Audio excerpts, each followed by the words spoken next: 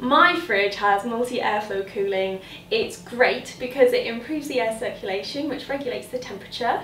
That prevents condensation, which means that my food stays fresher for longer. So no more mouldy fruit and veg.